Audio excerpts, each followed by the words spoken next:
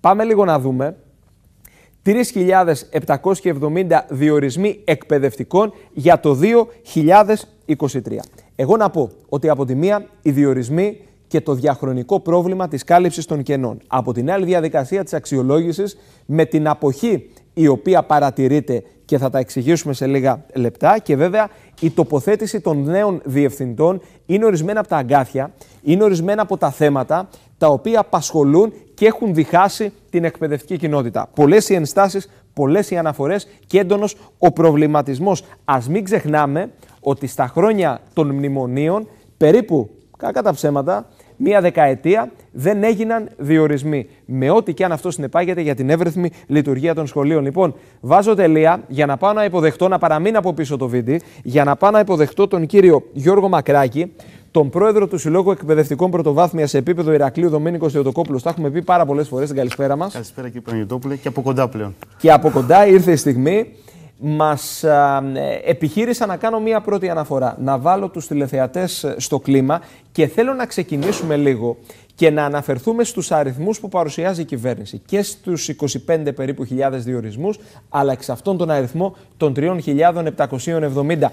Τι σημαίνει 3.770 και ποια κενά θα καλυφθούν; Είναι το ελάχιστο που μπορούσε να κάνει το 3.770 διορισμοί εκπαιδευτικών, μόνιμου προσωπικού δηλαδή, καθώς αυτός ο αριθμός είναι οι συνταξιοδοτήσεις που προέκυψαν κατά τη φετινή σχολική χρονιά, δηλαδή από το επόμενο σχολικό έτος δεν θα υπήρχαν 3.770 άνθρωποι. Κατά συνέπεια, ε, εμείς διαφωνούμε με αυτό το νούμερο, είναι πάρα πολύ μικρό σε σχέση με την πραγματικότητα των μόνιμων εκπαιδευτικών αναγκών που υπάρχουν και στην πρωτοβάθμια και στη δευτεροβάθμια δηλαδή, εκπαίδευση. Δηλαδή, αυτός ο αριθμός, αυτοί οι εκπαιδευτικοί καλύπτουν συνταξιοδοτήσεις. Ακριβώς. Καλύπτουν κενά τα οποία προκύπτουν μέσα Είναι από ο ελάχιστος αριθμός μόνιμων διορισμών που μπορούσε να γίνει.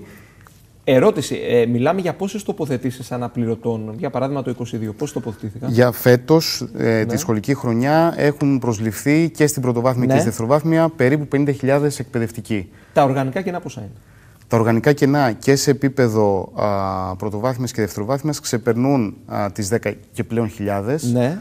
Ε, και πέρα από αυτή την ανάγκη ε, υπάρχουν και οργανικές θέσεις που θα μπορούσαν να ιδρυθούν. Τι εννοώ; Για παράδειγμα, στο νομό Ηρακλείου και σε πανελλαδικό επίπεδο εκκρεμούν ιδρύσεις τμήματων ένταξης, που είναι δομή ειδικής αγωγής στα ναι. γενικά σχολεία. Εδώ και τρία χρόνια, δυστυχώς, ο Υπουργός δεν, ε, δεν υπογράφει τη σχετική εισήγηση.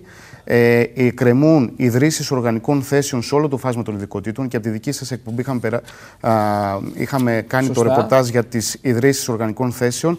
Ε, η διεύθυνση εδώ τοπικά, μέσα από διαβούλευση, προτείναμε πάνω από 100 μάλλον 120 ε, οργανικές θέσεις σε όλες τις ειδικότητες, εκτός δασκάλων και νηπιαγωγών και άρα ο, μόνο ο αριθμός παραδείγματος χάρη θέλω να πω στο νομό Ηρακλείου οι ενδυνάμει οργανικές θέσεις μαζί με αυτές τις ναι. ιδρύσεις ξεπερνούν τις 300 με 400. Επομένως αυτό το 3.700 λοιπόν σε πανελλαδικό επίπεδο ναι. και για όλο το φάσμα των ειδικοτήτων καταλαβαίνουμε ότι είναι μία α, σταγόνα στον ωκεανό. Οπότε, για να μπούμε σε μια ομαλή ροή από τον ερχόμενο Σεπτέμβρη, θα έπρεπε το Υπουργείο Παιδείας να προχωρήσει στην προκήρυξη ε, 14.000 θέσεων. Οι ανάγκες και στην πρωτοβάθμια και στη δευτεροβάθμια είναι πολύ μεγαλύτερες. Αν και ιδρυθούν. Ακριβώς. Τοποθετήσεις αναπληρωτών. Πρέπει... 10.000 είναι απαραίτητες. Ακριβώς. Και μην ξεχνάμε, πρέπει να το πούμε αυτό, ότι δυστυχώς το Υπουργείο Παιδείας ε, κάνει και ε, ε ρυθμίσεις οι οποίες δυσχεραίνουν, μάλλον καταργούν οργανικές θέσεις. Και από τη δική σας εκπομπή είχαμε επισημάνει πάρα πολύ ε, το γεγονός ότι χάθηκαν 70 οργανικές θέσεις δασκάλων με εγκύκλιο με ένα ΦΕΚ της, ε, του Αυγούστου του 2022, όπου ε, στον αστικό ιστό 70 οργανικές θέσεις χάθηκαν. Επομένως, περιορίζονται δηλαδή οι θέσεις ε, μέσα από συγκεκριμένες πολιτικές. Ε, πριν σας κάνω το ερώτημα ε, που θέλω να σας ε, απευθύνω και το οποίο θέλω να διατυπώσω, μιλήσαμε και για 24.500 διορισμούς από το 19 μέχρι και σήμερα. Ακριβώς. Ε, τα ακούει κάποιος ένας τηλεθεατής και λέει είναι μεγάλος αριθμός.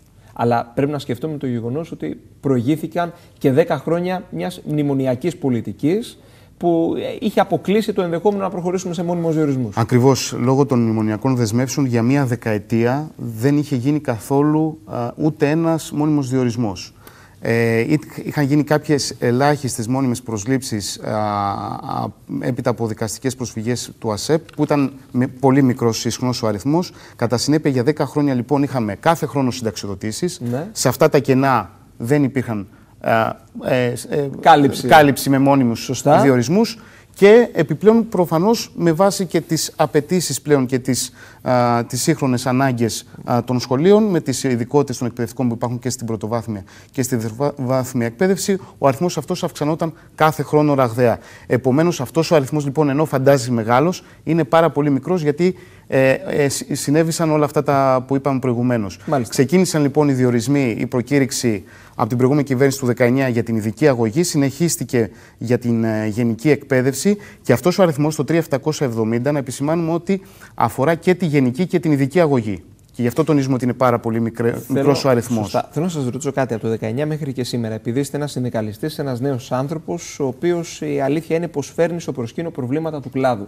Και θέλω να σας ρωτήσω από το 19 μέχρι και σήμερα, υπάρχουν αποφάσεις οι οποίες βρίσκονται προς τη σωστή κατεύθυνση από την πλευρά του Υπουργείου Παιδείας; Ε, Σίγουρα, παραδείγματος χάρη, αυτό ναι. που το θέμα που συζητάμε. Δηλαδή δεν είναι όμορφο είναι θετικό, να τα ισοπεδώνουμε όλα. Όχι, προφανώς. Είναι ναι. θετικό ναι. ότι αυτό που λέμε η συνέχεια που πρέπει να υπάρχει στο κράτος. Ξεκίνησε η προηγούμενη κυβέρνηση μια προκήρυξη, τη συνέχισε η ΝΙΝ και επέκτηνε τους μόνιμους ναι, Πέρα από αυτό, γιατί μου βάζετε και το ΣΥΡΙΖΑ στη μέση.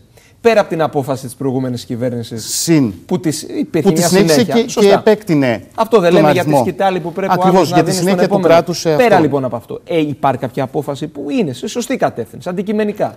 Στο εκπαιδευτικό περιεχόμενο, όσον αφορά δηλαδή η κατεύθυνση που αφορά καθαρά θέμα παιδαγωγικής εκπαιδευτικής διαδικασίας, ε, υπάρχουν ε, προγράμματα, παραδείγματος χάρη της εκπαιδευτικής ρομποτικής, υπάρχουν προγράμματα τα οποία εξυγχρονίστηκαν σε ένα πλαίσιο αναλυτικού προγράμματος, το οποίο βέβαια θα, θα έπρεπε και θα μπορούσε η, η, η ηγεσία του Υπουργείου ε, Παιδείας να έχει προχωρήσει σε μια μεγαλύτερη διαβούλευση και με το διδακτικό προσωπικό. Ωραία, ναι. Αλλά υπάρχουν και ζητήματα τα οποία πολλές φορές επισημαίνουν, τα οποία είναι σε αρνητική κατεύθυνση, όπως η αύξηση του αριθμού των μαθητών στα τμήματα. Ήταν ένα ε, αυτό δεν είναι μόνο εργασιακό. Δεν είναι δηλαδή ότι μειώνει τις θέσεις εργασίας, διότι όταν αυξάνουμε τον αριθμό των παιδιών στα τμήματα, Νομίζω μειώνεται και. και επί ΣΥΡΙΖΑ έχει εκτοξευθεί ο αριθμός των μαθητών στις τάξεις. Ε, και το είχατε αναδείξει κιόλας. Υπήρχε η ρύθμιση από, στην προσχολική εκπαίδευση και από πρώτη δημοτικού το 2018. Ήταν ο κύριος Φίλης, νομίζω, υπουργός παιδείας. Όχι, όχι. Ε, είχε γίνει μια ρύθμιση επί Γαβρόγλου. Επί Γαβρόγλου. Όπου ε, στην ουσία μείωσε τον αριθμό των μαθητών από 25 στα 22, σταδιακά όμως. Ναι. Εμείς προφανώς λέγαμε να α, κατευθείαν να υπάρξει μάλιστα, μείωση. Λοιπόν, Εν πάση περιπτώσει, ξαναπήγε στα 25. Για να τρέξουμε λίγο τη συζήτηση, έχουμε δύο λεπτά. Ε, να πάμε λίγο στην αξιολόγηση. Πάμε, ναι. ε, δεν υπάρχει συμμετοχή. Σε ποιο βαθμό δεν υπάρχει συμμετοχή και για ποιους λόγους; Και αυτό είναι ένα θέμα, παραδείγματος χάρη, που η ηγεσία του Υπουργείου Παιδείας, ενώ θα μπορούσε να συζητήσει ναι. σε ένα πλαίσιο θεσμικού διαλόγου και με τις εκπαιδευτικές ομοσπονδίες, έφτιαξε ένα νόμο, ο οποίος για μας κρίνεται αντιπιστημονικό και αντιπαιδαγωγικός. Ε, θα μπορούσε να, να πάμε σε, σε καλύτερες δηλαδή συνθήκες διαλόγου. Εν πάση περιπτώσει, πέρα από αυτός, για την ατομική αξιολόγηση, λοιπόν, εδώ υπάρχει το εξής. Διορίζει αυτό το προσωπικό, ναι. του 25.000, είναι προσωπικό το οποίο δουλεύει 10 και 15 χρόνια ως αναπληρωτές εκπαιδευτικοί. Ναι, ναι. Αυτοί οι άνθρωποι διορίστηκαν με τυπικά προσόντα, μεταπτυχιακό, δακτορικά, ε, άλλου είδους ε, τυπικά προσόντα. Έκαναν επιμόρφωση το 2000. Πάρα πολλοί από αυτούς τους ανθρώπους έχουν κάνει και επιμόρφωση. Μάλιστα. Και ξαφνικά τους λέει ότι δεν σου υπογράφω την οριστική μονιμοποίηση αν δεν αξιολογηθείς. Εμείς λέμε λοιπόν ότι αυτή η αξιολόγηση που γίνεται τώρα είναι καθαρά μια fast track διαδικασία η οποία δεν έχει αμυγός παιδαγωγικά και επιστημονικά κριτήρια, αλλά γίνεται κυρίως για άλλους λόγους και ένα γρήγορο σχόλιο λίγων δευτερολέπτων για να κλείσουμε, αναφορικά με τον τίτλο που έχουμε τοποθετήσει. Τοποθετήσεις με γκρίνια των νέων διευθυντών στα σχολεία.